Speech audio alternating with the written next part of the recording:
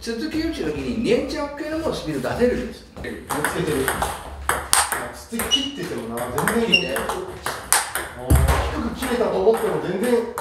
切っても全然。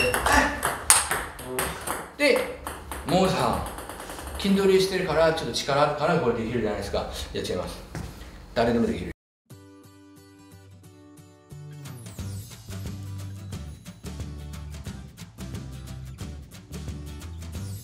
すみませんもうさんじゃあ、はい。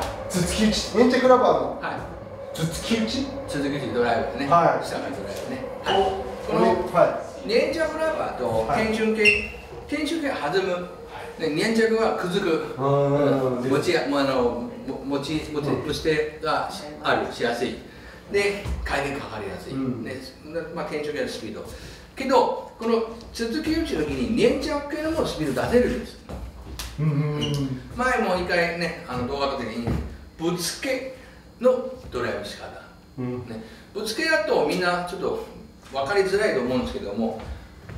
そうするとこっちではい。見つけると分かりやすい回転かけるとこういうふうに回転かけるじゃないですか。はい。うんうんうん。こうやってね押さえて回転。かけるわけうん。ぶつけっていうのはこっちはぶつけですよね。そうすると分かりやすく目を立てたままでのぶつけっていうのね。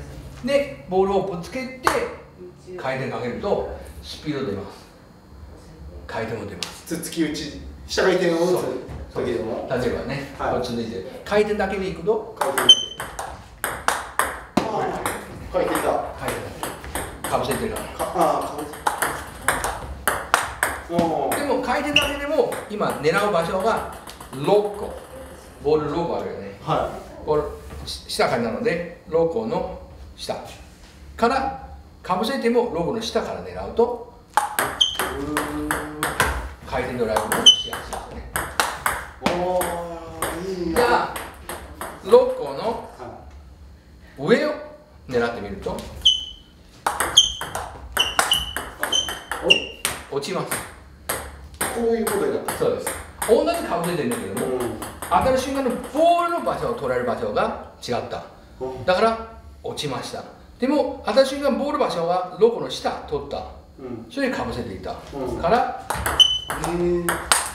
綺麗に返る返るああそれすっごいなんか大大事ですはい。ね、どのラバーにしてもはドライブボールの捉える場所をいうん。間違っちゃうとミス出ます。では次ぶつけるドライブ。うん。続き打ちですね。うん。これはぶつけですよね。ぶつけおお出たあの強い人のはい。ぶつかってるぶつけですよねこうんめっちゃぶつけてるれこれ下回転ぶつけるドライブそれすごいなうんこれがさっきのこういうないですぶつけていてからグッと持って回転かけるうんと今の回転を出ます。沈みましたぶつけていくよねうわでもうさ筋トレしてるからちょっと力あるからこれできるじゃないですか。いや違います。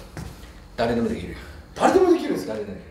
この落ち方えー、これ難しい竹王国とかいろんなねあのチャンネルは YouTube い。は学校の先生いろいろみんなちゃんと言言ってることを言ってます。この力の出し方っていうのは必ず足からじゃないと誰でも打てない。いうん。お相撲さん柔道の選手ねレスリングパワーある。使えない。でもい力弱いけど足から腰、うん。今僕腰言ったんですけどち違うね。足から骨盤。うん。で腕に行くとこの順番足骨盤腕。それで当たる瞬間のキャッチこのぶつけを大胆に出せば誰でもできる。ああそういう意識で。はい絶対ですみんながこっちが当てらなきゃってこっちをこっちを振らなきゃ振らなきゃってなるんですよね。ここばっかり考えるんじゃなくてうんこの重心移動うん。この骨盤の出しうん。ぶつけ出すつける。こういう考え。うん。骨盤をぶつける。一緒で。すうん。この力下から出ると必ずいいボール出る一瞬でね。こことここ。ここ一瞬で出す力だけではない力でまあいろいろこの足あー今切ってもありますちょっともう一度やってみてくださいちょっと切切切ってみよう聞いてもいいでしょもうこうやってえー、関係ないです関係ない関係ない関係ないです忍者系のドライブ仕方ですぶつけ回転ねすげえやべえ効かない。つっつきが効かない。でもぶつけていくとぶつけも一緒ですよ。今下書いたの。はい。ぶつけもロコの下にぶつけてますよ。そこなんですねここなんです。絶対ロこここう上はありえない。ありえない。ここなんですよ。そう。ぶつける。ぶつけてる。つっつき切っててもな全然。切って。低く切れたと思っても全然切っても全然上級者と中級者とかのレベルの違いとかは特に。これが全部もレベルは関係ない。これが打つ方法打ち方。うなるほどなるほど、はい。レベルを初級だからちょっとこうやっていいじゃない？俺上級だからうん。こっちではいいじゃない？の打ち方は誰にも OK なの。合ってるの。その打ち方じゃないとミスしやすくなる。なるほどはい。ボールの場所を取られる場所はロゴの下。ラケットの取られる場所がヘッド。うんヘッドヘッド。うんヘッド。うんだけの上。ね。力の出す出す方向順出す場所は1足なんだって、2骨盤を回し出す。3腕を出す。これ絶対なんです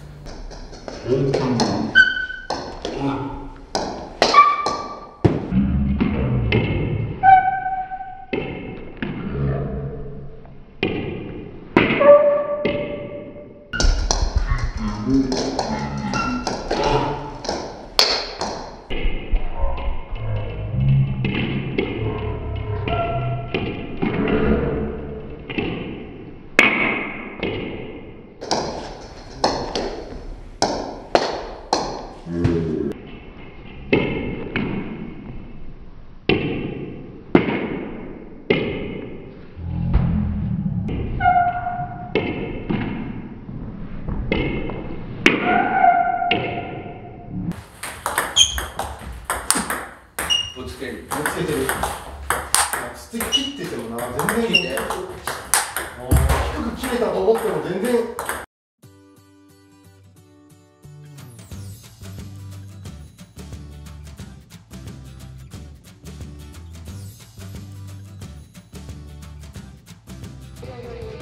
いいねとチャンネル登録をよろしくお願いしますありがとうございました